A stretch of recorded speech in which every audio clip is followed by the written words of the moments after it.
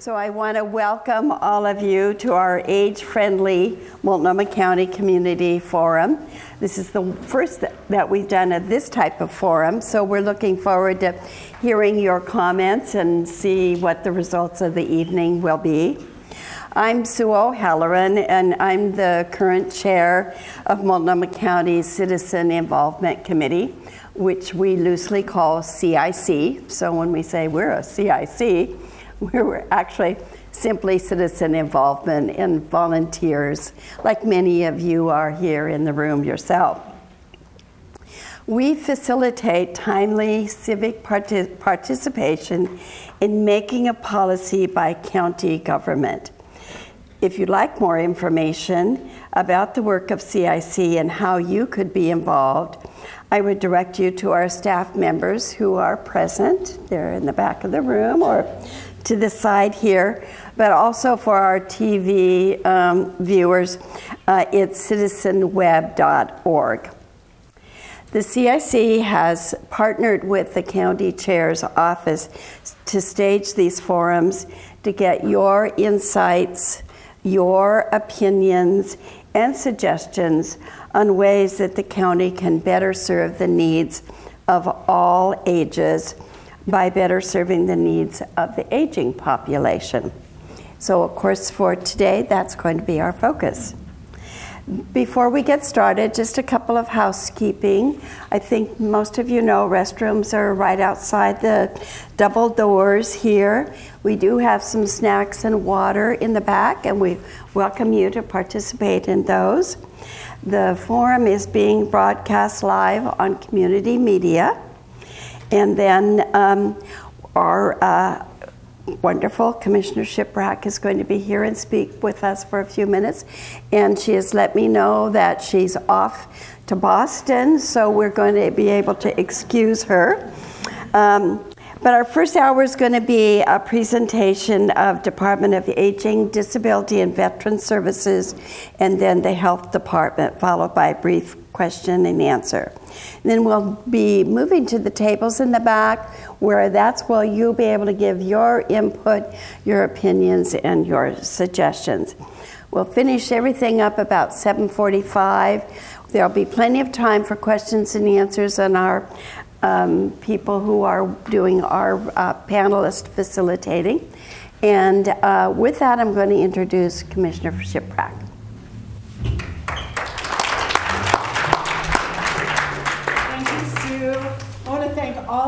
You for being here. It's really lovely to have you all come. Oh, can you hear me in the back? Well, it's the, it's for the television. Oh. oh. Wow. Well, then. I want to welcome everyone here tonight, everyone who could be here in person, and everyone out there in our TV land audience as well. This is um, particularly important to me. I've been the liaison for the board to Elders in Action uh, for six years. And I'm really proud of the work that Multnomah County has done and the value that Multnomah County's board places on age friendliness. So um, we're going to hear from you tonight. Uh, that's why this is a forum about how uh, we can make our community more age friendly, and we'll learn about what age friendliness means to you.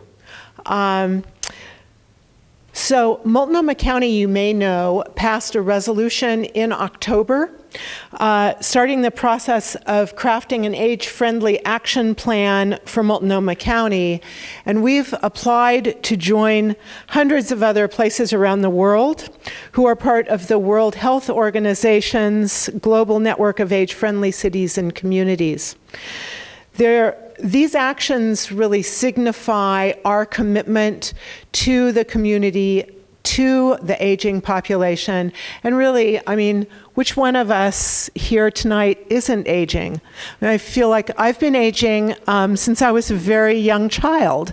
Um, just some of us have been aging for longer than others. That's that's really all that this is about. And also, um, that this is about enablement. This isn't about disability. This is about enabling all of us to contribute as much as we can and to um, be appreciated for those contributions by our, our peers and, and our community. So, we want the county to be a place that is easy for older adults to stay connected, to stay active, to stay participating, um, and be able to share all of their skills uh, for a very long time because we know that older adults are a very valuable resource. Um, we know that you have assets and skills to share, and we're going to create a platform and a community where you can share those um, for as long as you like. So, um, I don't know who I'm introducing now. Go Uh, on from here, Judy. all right. I want to thank you very much for allowing me to say some comments tonight.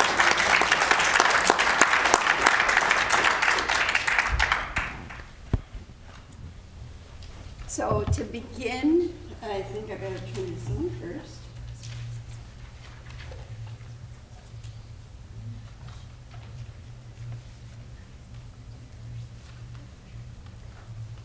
There.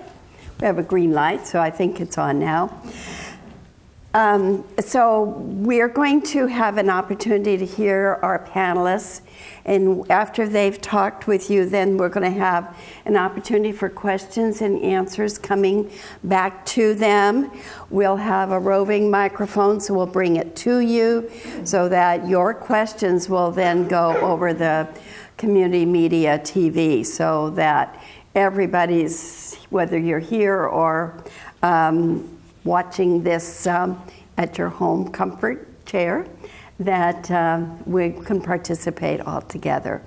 So I wanted to introduce, to start with, from Multnomah County's Aging, Disability, and Veteran Services Division, and we have with us Lee Gerard, who's program manager, and Eric Ensley, and he's with Veteran Services as a program supervisor.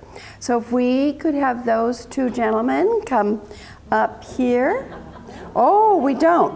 Lee, sorry. Hi, Lee.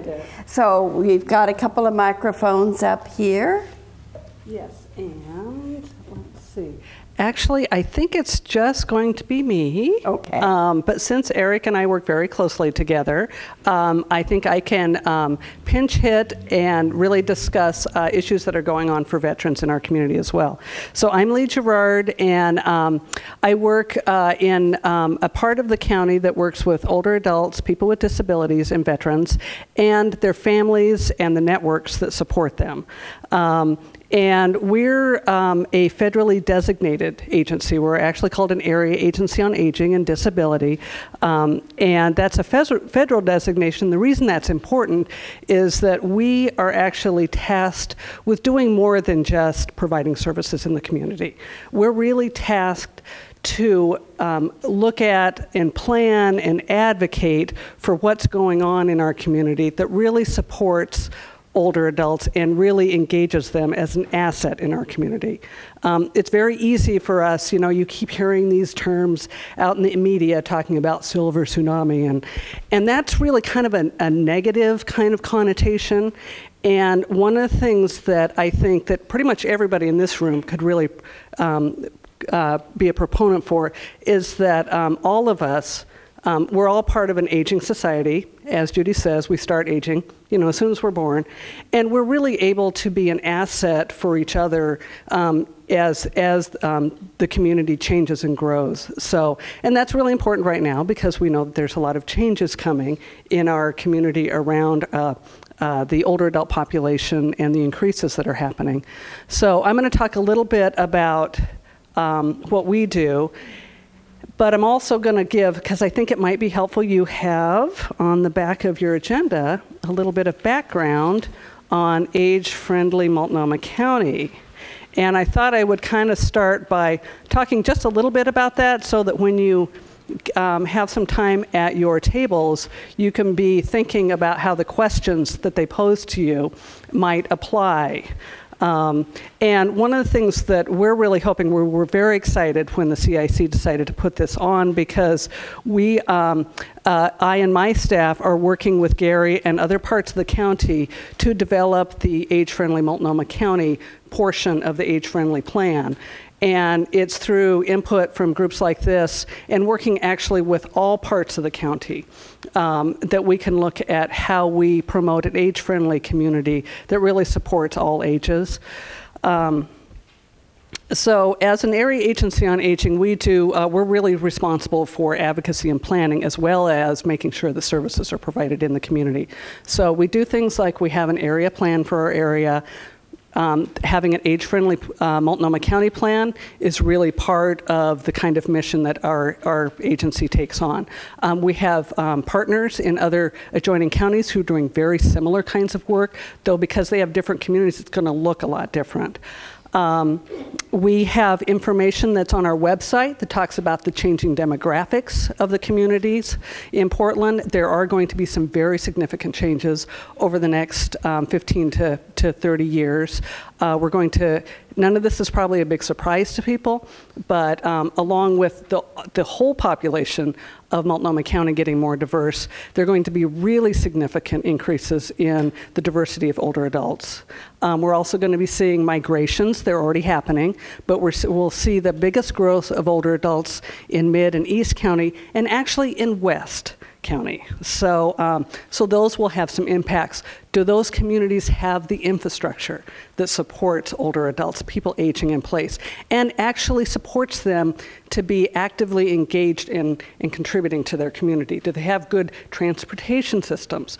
Um, do they have an opportunity to go and volunteer at the local school? Are they able to do those kinds of things? Those are the kinds of things we're thinking about as infrastructure. Um, you'll look at this age friendly plan, and it's probably just a good idea to familiarize yourself with the domains. Um, we're actually taking a lead right now around the, um, the, uh, the health domain, which is uh, one of the areas that there's a new subcommittee on. There's a housing domain. Alan is working on that one. There's a group that is starting to really actively talk about transportation. Um, so there's some really good opportunities. So if you're interested, that's one of the things you might want to actually have them record, and we'll get that information.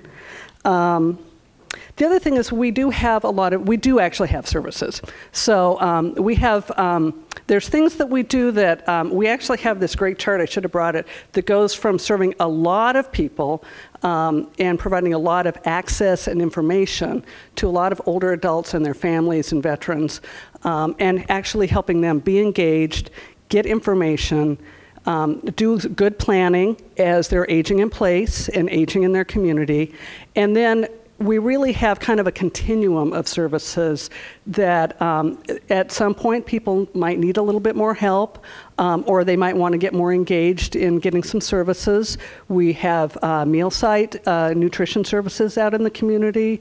We have opportunity to uh, um, participate in, in health promotion and chronic disease self-management activities. Consuelo is going to, we actually partner very closely with the health department, with other, health systems to promote those kinds of activities out in the community. Um, and then we get into kind of a higher level of services and supports for um, older adults, veterans and their families, and people with disabilities. And that might be that we're helping people access direct services that help them stay in their home, um, or if they need to, stay in a higher level of care in the community, and maybe sometimes even in a nursing home. Um, we also provide a lot of um, advocacy and protection for individuals. So there is that continuum of, of our services where um, if you know that an older adult or a person with disability is um, potentially being abused or is at risk, we're a great place to call because we, we provide that kind of support to people. Um, and in the worst case scenario, we actually have a public guardian program to provide support for people that really aren't able to manage their own lives. Um, The other thing is that we really promote, um, and we actually have a network throughout the state where you don't really have to know exactly what kind of service that you're needing. That we do kind of what we call no wrong door, where people can call into our helpline, and we have cards up here. Um, and we really try to make it easy for people to access our services or just access information. A lot of times, there's a lot of things going on out in the community. Um, and really, a lot of times, what people need is access to, okay, I just need a place to figure out where to start. Um, and it may be that they're interested in um, getting engaged in doing some activities at a local community center. We have the Hollywood Senior Center here, they're part of our network. Um, they, if you want to take ukulele classes, you can go take ukulele classes there. They did speed dating recently. so, um, so there really is quite a broad um, spectrum. So um, that's that's pretty much. I want to be sure that we give enough time, so I'm going to spend a, just a couple minutes. I'm going to start channeling Eric right now to talk about veteran services. Um, we have been serving veterans in Multnomah County for a long time, but I think it's really probably in the last um, oh, five to six years that there's been really a recognition of just how important and how embedded in all of our county structures um, the need is to support veterans. And there's lots of different ways that that happens. Um, part of it is we have a recognition that we support veterans that actually work for Multnomah County. Um, we have um, particular employee resource groups to support veterans. Um, but we do a lot, um, our agency is actually responsible for ensuring that veterans are able to access the, the benefits that they're eligible for. and you would think that that would be an easy thing to do. Um, there are some really great benefits that, that veterans can access, veterans and their families, but it is a very complicated system. So um, us, um, our program, and we have we have partners in the county that do similar kinds of work. We actually help veterans to access their benefits. Um, we actually encourage people, even if you are you are a veteran yourself or you know a veteran that actually is is getting some of their own benefits, they may actually want to contact us because oftentimes um, there's something more that they could be getting. Um, so that's really important. Um, the other thing is that there's a lot of, of, there's a lot of there is a really broad support network for veterans that um, helping people access their, their mental health benefits. Um, housing is a huge issue for veterans. Um, there's a, the county is actually a, a partner in a, a, very significant initiative to um, end homelessness among veterans, um, and that's a big that's a big issue and a big challenge in Multnomah, consider, Multnomah County, considering the the lack of affordable housing um, in the area. Um, we partner very closely with the VA Medical Center. Um, we're actually in the um, in the process of expanding some really innovative programs that will actually help veterans um, stay in their own home when instead of having to go into nursing homes, um, and to direct their own care um, and utilize family members as their paid ca- paid caregivers. So um, there's similar kinds of things as that happen on our aging side are now starting to happen in supporting veterans. Um, but I want one of the things I always like to point out is that um, the services that we provide for veterans isn't just if you're an older veteran or you're a veteran with a disability. It's really all veterans. We can provide a lot of different supports. So, and I want to be sure that Consuelo has enough time. So.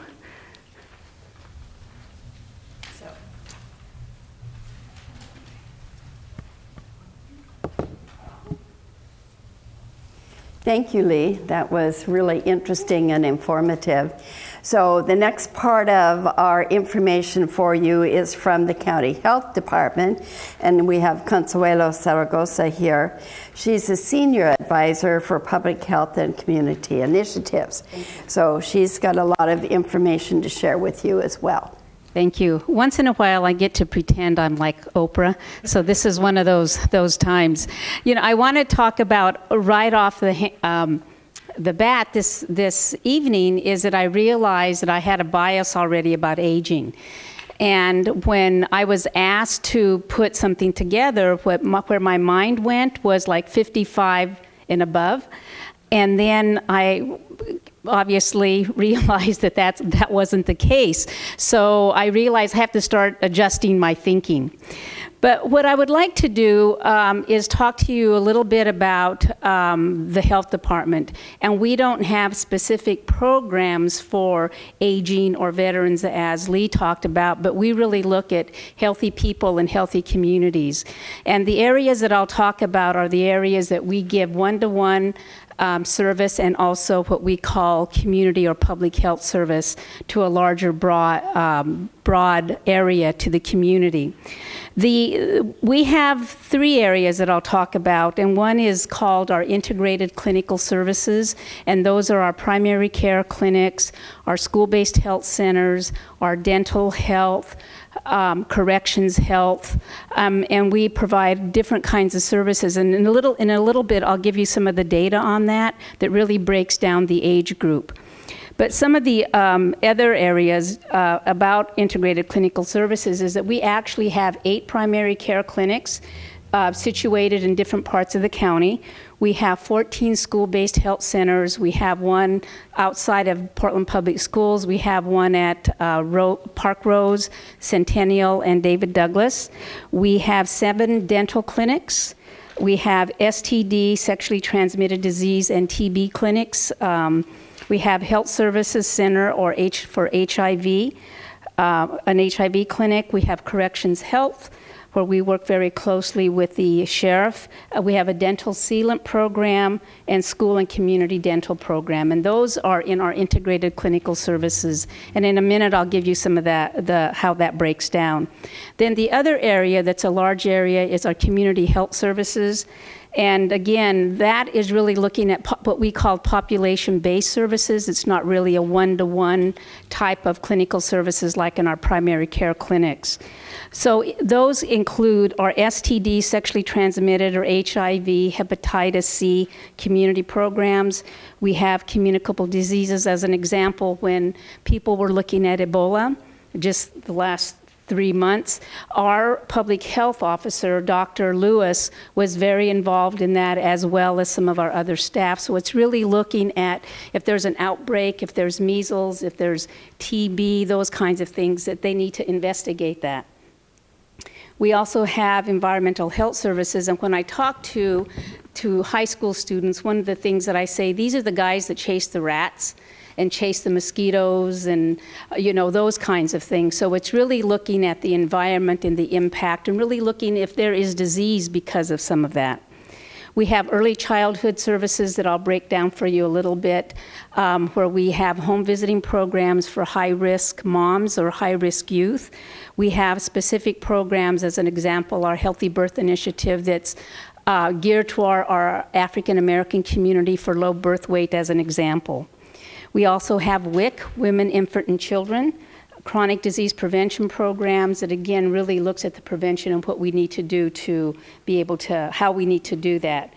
Um, and then we have something called For Real Youth Sexual Health Program. Again, really looking, and that's not just about, it's about how to also have a healthy relationship. Um, and also how to be safe, how to have choices, those kinds of things. We work with community programs and we also work with schools in doing that. Uh, in the area that I'm responsible for is um, something called public health and community initiatives. We do training. Uh, we have a community capacitation center that does training with community health workers, not only internally, but externally with community-based organizations, with agencies, um, to really look at how community health workers really impact the lives of people in communities and really looking at that's not just health but we in in the health department we talk about social determinants of health which is not just health based but we know that if you don't have any food if you don't live in a safe neighborhood as an example if you don't have health access if you do not um, you know have economic opportunity we know that that affects people's life that really goes on to chronic disease and stress over time. The other thing that we have is something called STRIVE, which is striving to reduce youth violence everywhere. And this is a grant that we had, we're, um, which it really focuses on youth violence as a public health issue. And it works with a coalition of community folks uh, partners to address primary prevention, social determinants that I just mentioned, as well as root causes of violence. Uh, just, I think it was about six weeks ago when there was a gang related shooting at a school in northeast Portland. The, they talked about the mural that was on the street, and that was part of the Strive group that did that last summer. So, again, it's really looking at not only protective factors in the community, but really looking at what are the risk factors as well. And last, um, we have our community wellness and prevention program. And some of these areas that we work on are tobacco, nutrition, healthy living, active living. Um, it's really to pursue the elimination over time of chronic disease. We look at prevention, we look at uh, how we inform policy and systems and environmental changes, being able to create healthy environments for all of the community and their well being. So those, again, we do other things in the department, but those are the areas that we really have one-to-one service or community health-based services to our community. Um, you might be interested a little bit about who we see and what that looks like. Uh, this is um, data from uh, 2014, and not only with this is for the whole health department, not just our clinical services. We saw over almost 78,000 clients, and we had over 300 unduplicated um, visits um, with folks. Again, um, some of the race and ethnicity, how that breaks down for us is white population 40%, uh, Latino or Hispanic 31%, our African American community 13%, and then it's broken down by Asian, um, Pacific Islander, American Indian, uh, Native Hawaiian, Alaskan Native, and then some folks didn't put, put um, what their background was. Again, by English, um, it's uh, 50% um, English, and this was um, always surprises me is that we had 40 languages that we had uh, for interpretation within the health department this last year.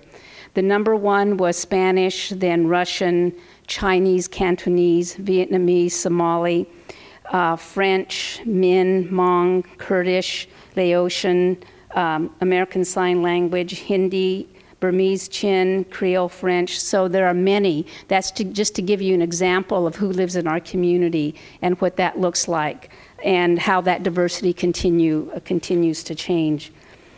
Um, in addition to that, we have um, again, clients by age group. And again, looking at my own, looking at the bias that I walked in here with has changed very quickly. But our ages, 27% or almost 28% uh, was age 25 to 44. Um, age 45 to 64 is 18%. Age 6 to 12, 50, uh, almost 16%. Age 13 to 18, 13% age 19 to 24, almost 8%, and age 65 plus was uh, 4.3%. So again, we really do have a range of, of folks in our community that we provide uh, services to. Again, uh, looking at my bias, I had our data people look at 55 and above before I realized I had to change that. So I wanted to give you a little bit of that information as well. Um, total active patients that we had, 55 plus, were 7,358 um, uh, clients this last year. In East County, or Mid County, where we have our Mid County clinic and where we see a lot of our refugee health um, clients, was over 2,000 people in that area. Uh, East County was next, over 1,000. Then we had Northeast uh, was almost 1,300, Rockwood 800, and again, our health services, HIV services was 196. Um, by gender was female over 4,000 and male over 3,000. Again, our Medicare was 21.7% of that population in terms of visits, visits uh, of that uh, particular area. Again, the top languages in this area was English again 57%, Spanish 12, Russian 9, Cantonese uh, uh, Chinese Cantonese, almost 6%. So, again, that just gives you a snapshot of what we look like in terms of all of Multnomah County, but also the 55 and plus um, above. So, I don't know, later you might have some questions, but again, hopefully that gives you an idea of what the health department does. And again, we do many other things, but these, this is where our one-to-one and community-based services are. Okay, no, just hang on to that. okay. So we're going to ask Lee to come back up here. And this is uh, your opportunity to ask questions of Consuelo and Lee. And Gary's got a microphone, so he's going to have you give your question through the microphone so our TV audience can be hearing as well. So just raise your hand and Gary will bring you a microphone. Don't hesitate. There we are, front and center. Lee, you mentioned that there was going to be a growth, you thought, in older adults in Multnomah County. What would you say is roughly the percentage now, and what do you estimate that going forward? Just estimate. Just estimate. Um, gosh, you know, I am. I, it's like the end of the day blank, but it's it's going up significantly. Um, I believe it's going to go from it's around. Um, 13 or 14 percent right now, and it's going to go up to about 25 percent um, by about 2030. So that's a of the pop overall population of the county. So it's going to be it's going to be large. Um, the other thing that's really interesting is that um, if you're looking at like poverty levels in older adults, um, for white older adults, it's going to stay about where it's at right now, which is a pretty low rate. It's about 11% of of older adults that are white are at, at or below poverty. But that it's a very, very different story for older adults who are from, are from an ethnic or racial group. That sometimes it's up to 30% um, and even higher. So there's some real disparities for older adults that are ethnic or racial minorities in our community. Yeah, I was wondering what the poverty level is. Oh, What is the, Peggy Bray, our division director, is going to look it up right now, and you would think I would have that one memorized too, but um, that's the, the good thing about uh, cell phones. Uh, it's actually, Janet, you might actually have that one off the top of your head. Do you? I know. no, it's not one of those things. You know, if we had one of our eligibility staff here, they would be able to pop it right off. So it's it's it's very very low. It's I think it's only about, is it even 16, I think it's lower than $16,000 a year. It's, it's very low. 12? Yeah. Yeah, so I think it's around $12,000 a uh, year or less, actually. Um, yeah.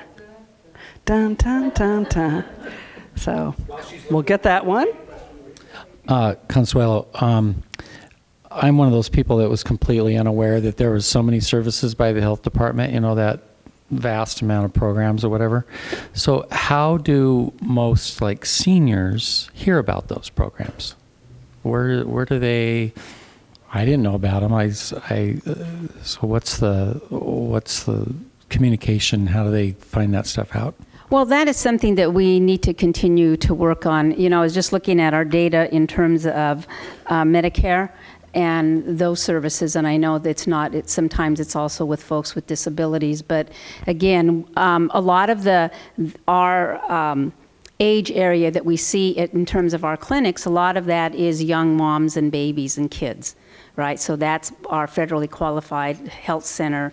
Again, but it's a variety of, of some commercial insurance, um, Care Oregon as a provider, um, fee for service type of things, but also Medicare and Medicaid.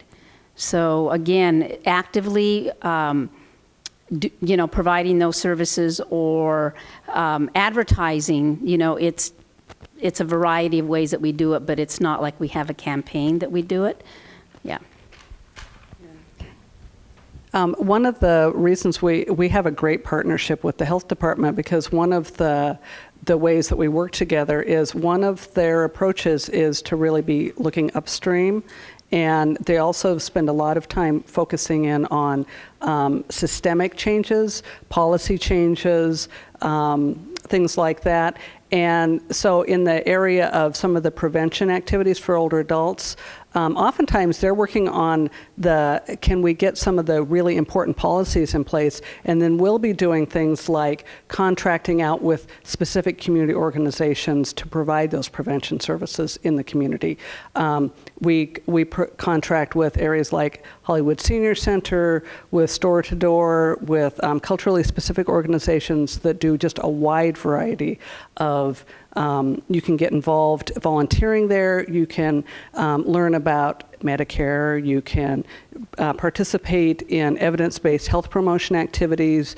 Um, you can just do so many different things. And as your needs change, you can learn about different kinds of services that are available. In home services, the majority of services are provided to people in home. And we did find out the poverty level, it's 11,770 for one person for one year. So 12,000 was really close. Yeah, which is not very much money. Okay, uh, you kind of already answered the question. Uh, my question is you mentioned the no wrong door principle to encourage older adults to access information. Uh, I'm just wondering, you mentioned there information on the website. What other places that you guys provide informa- information for the older adults and how you adjust the information that become more readable for older adults? So we, we have a lot of ways that we get information out. Um, there is a statewide website. It's called ADRC of Oregon, and there's uh, you don't have to memorize that because we have cards in the back of the room. Um, we have a central um, telephone number that's actually available 24 7 and we also have a, um, a card for that. Um, and that's really the important the importance of 24 7 is that there's are things that happen after hours for individuals that they need to contact. But we also have a network of partners. Um, and those partnerships include a wide variety of community organizations. Some of them are neighborhood based. So there are, are district centers in specific neighborhoods, and then we also partner with culturally specific organizations throughout the county. Um, and we really try to make sure that information is available in a wide variety of formats. We've done a lot of work um, when we do publicity. We do a lot of work around doing publicity and getting the word out. Um, we try to get it, you know, they, they have this thing about how you actually market your materials. Um, we're actually even doing things like getting uh, materials out at movie theaters. Um, we do inserts in the community newspapers. We provide um, information in translated forms for people. So we, we'd really try to do a lot of different ways to get the information out. But one of the things we hear is that one of the, the ways people hear about us is word of mouth. And that's part of that neighborhood based and community based, I think, is a key component of that. Um, I wanted to talk just a little bit about. You know, again, we don't have a campaign to get information out. If we have an initiative, um, as an example, our Strive program that I just talked about, that's really working with very specific communities, and we work with law enforcement, we work with different community organizations, we work with uh, community-based organizations with different agencies. In addition to that, if we have um, we have a community wellness and prevention program, one of the things that we did, it starts here. I think if you see that, it's a campaign that we had several years ago, and again, it's about active living. Um, healthy eating. So again, um, that's an initiative that we've had. So again, it, it just depends on what we're doing in our school-based health centers. We're in 13 different schools. Um, again, in the summer, we have a couple of those open for, for kids to be able to access that. As, as I said, we also have our school, our uh, primary care clinics, which are federally qualified health centers. Again, that you have to qualify to, to be part of that, and we've had that designation for years. Um, so again, it just depends. Our, um, like if we have an outbreak of a disease, our our public health officer, again, Dr. Lewis. Previous to that was Dr. Gary um, Oxman. And again, he was around for a long time and was always, um, you know, that was his work. So again, it just depends on what we're on what we're doing. We have very specific early childhood programs for different communities in terms of also high risk.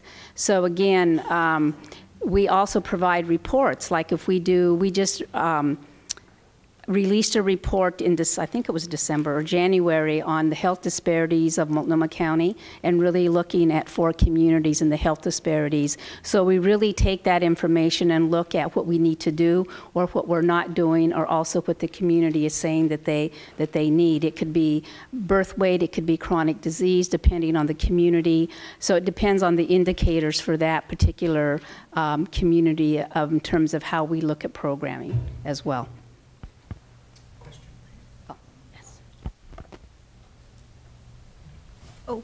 Um, I have another question about numbers, if I might, and forgive me if this is a stupid question, but the, with the population of Multnomah County, 55 and over, let's just say, do you have any figures that say how many of those in within that um, age range are require services, or how many of those within that age range, can provide uh, services that are health not needing services and can be active and volunteer and whatever versus the the population that requires services. I, you know, I don't know the numbers off the top of my head, but we do have some, um, there's some information from the American Community Survey that talks about the um, prevalence of disability among older adults. That tends to be limited by 65 and older, which is a little bit of a challenge because we know that um, you know, for a variety of reasons, if you're a person with a mental health issue, that, you know, basically you're aging at a much younger age. So it doesn't take into that account those kinds of issues. Um, or if you're coming from certain um, ethnic or racial communities, you may not have had access to health uh, services. So really you might be aging at a essentially chronologically at a younger age. Um, but we do have some data on 65 and older and the prevalence of disability uh, among that group. And that's probably the, the closest you're going to get to that, um, that kind of data. Um, and it is self-reported disability, but the, actually self-reported is a good, is a good indicator.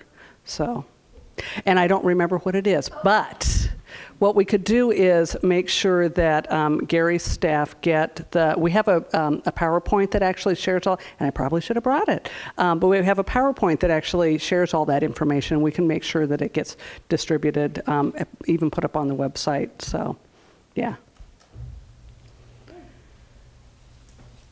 So I, I've got the mic over here. I, I have a genuine interest in, in understanding how Multnomah County, which is a very geographically diverse and kind of interesting shape, uh, works with the various municipalities and communities across its jurisdiction. I've done a lot of work in the city of Portland in the past, which is contained to kind of one boundary. But how many cities are in Multnomah County, and how do you engage both elected leaders and then also citizens from those communities? Yes. Um, one example is uh, we have a tri county health officer, which is Multnomah County, Washington County, and Clackamas County. So we've been doing that model for probably, oh, six or seven years. So again, um, working with other jurisdictions on specific maybe initiatives, or one thing that we are working on is, as a neutral convener, is the Healthy Columbia Willamette, which is really working with. Um, CCOs, a couple of CCOs, the large health systems, public health, and Clark County, really looking at, as part of the Affordable Care Act, one of the things that needed to be done is really looking at a health uh, impact statement or really looking at uh, what does that look like? And then what kind of plan are you going to have to be able to, to serve um, the folks in, and they're all by district. So again, Multnomah County Health Department, Department is a neutral convener of that, but again, we've been working, I think this is our third year that we've been doing that, and more work to come as one example. With respect to within the county boundaries, how do you engage different cities and communities? You know, there are multiple Yeah. cities. If um, one of the things with our as an ex, another example our community um, wellness and prevention program we really the staff really works to help inform policy as an example and the tobacco policy that has been in the front uh, um, in the public here this last month is working with uh, staff, working with uh, Troutdale, working with Gresham, working with those different communities in terms of a policy that might impact those jurisdictions. So again, that's another example. And I can share some examples from um, kind of the work that we do. Um, some of it is around planning and advocacy. So um, we often, like for instance, we we worked with Portland State University to to to look at uh, demographic trends out to 2025, and that's which is the PowerPoint that we'll we'll share with everybody. And we've shared that information with uh, local jurisdictions, and we've um, offered and, and, given presentations to, for instance, the the City Council for Troutdale. Um, and um, we've shared that with Gresham, and we've shared that with the different jurisdictions.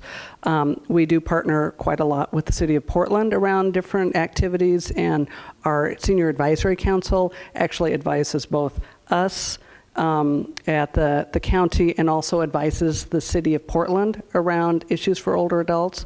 So that's an, an area where we have uh, common partnerships. We do a lot of initiatives with the city. We're, we're looking at how um, uh, right now, we're looking at the art, ta- arts tax and how to make that more age friendly.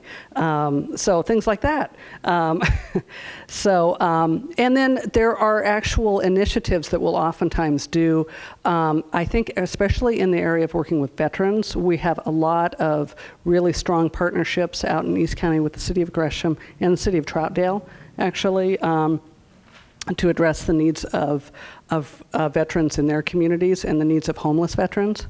Um, and then we so will get involved sometimes, for instance, out in East County, kind of the mid to East County, there's the, the um, some of the initiatives that they're doing around kind of development. Um, and we've kind of participated and talked about, so how do you bring in that age-friendly component to the development that you're doing? Um, and then we have some um, engagement activities. Um, we have a foster grandparent program where older adults um, actually um, mentor and tutor and teach children and youth. And we actually do that throughout. And we, we work with um, the David Douglas school system, the Reynolds school system. We're out um, doing things out in Washington County and Clackamas County with those programs. And then we do have a very strong regional component. We have regional partners um, throughout the region that we, that we work with. So, um, yeah, that helps. At this point in the process, has Multnomah County developed any specific outline or concrete steps towards any of the action areas? Well, it's just so helpful that you asked that question because basically we have a work plan. We did the resolution. Was that, you know, I know he said when we did it, but I don't remember, even though I helped present. October 30th. October 30th. So we had our presentation and the resolution that the county, um, the county did a, basically an age-friendly resolution, and we're. Um, we're working with uh, with Portland State University, um, AARP, and Portland State University have helped the county apply for um, the WHO age-friendly status um, component. And we're actually in the process, we've developed a work plan. And we're going to start doing an inventory, and we are we're actually contracting with Portland State University to help us to um, basically come up with some draft components of an age-friendly Multnomah plan that builds on the work of the age-friendly Portland plan. Um, and uh, looks at the assets that the county already brings to age friendly, um, and really doesn't look at it just doing it within um, what our division does, but looks at it very broadly. So, what is it that the health department's doing? What's the what is the library doing? Um, we actually had one of our staff ask it today. So, what does vector control do that's age friendly? And there's probably some great examples of what vector control is doing that's age friendly. In fact, we know there is because we actually work with them on on key issues. Um, uh, pertaining to older adults. So um, we're really going to do an inventory and then we're going to do a gap analysis of, so here's what we're doing and here's where the gaps are.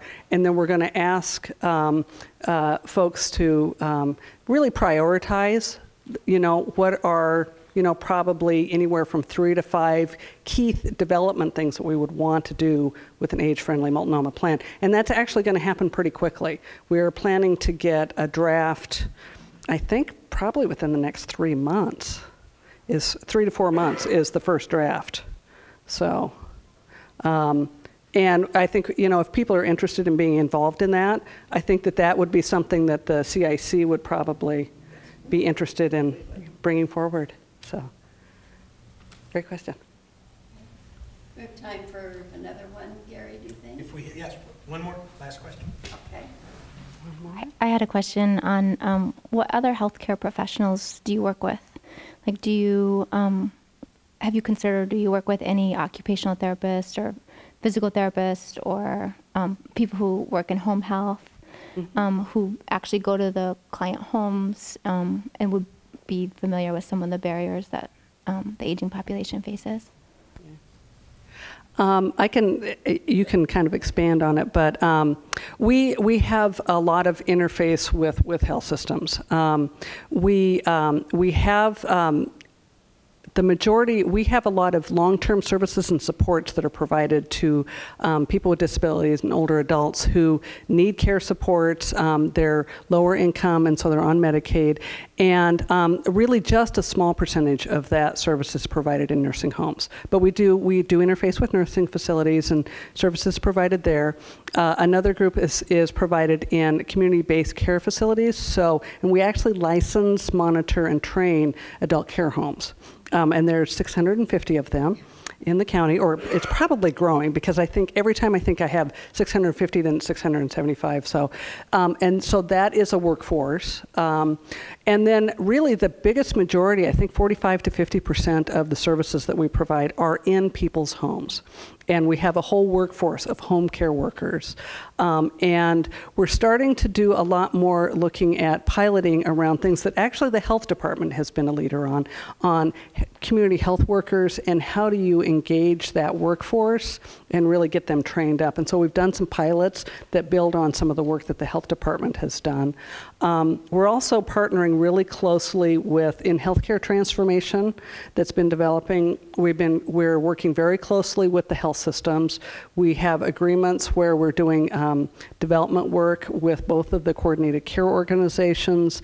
We're looking at how we um, we can be a part of that extended um, uh, group of care planning that works for individuals. We actually do care transitions, helping people that are transitioning out, Medicare beneficiaries who are transitioning out of hospital back to the community. Um, and then we're doing things, uh, we're, we're actually getting ready to pilot a program that is a evidence-based health promotion program. It's called Otago. Um, and it's really where you utilize um, uh, like uh, OTs and PTs that go into the person's home to do an evidence-based um, activity to help them address their chronic health needs. So those are kind of some examples. Unless our providers, if they're seeing the clients in our primary care centers, they may do a referral if needed. But, um, you know, we don't have particular programs as aging and disabilities does. But again, it would depend on the, on the provider. Okay, well, I want to thank our two presenters, Consuelo and Lee. Very, very well done, and a wide, wide uh, variety of questions that you fielded very well. so thank you both. Thank you. So this concludes our televised part of the evening. And so um, where you have an opportunity now, if you're a television office, uh, audience, to uh, log in. You can go to citizenweb.org and give your input and that will then go forward to our county commissioners as they work and think about um, how to best build a community for all ages. So we're going to now close that portion of the program, and I'm going to bring Gary Marshke up at this point.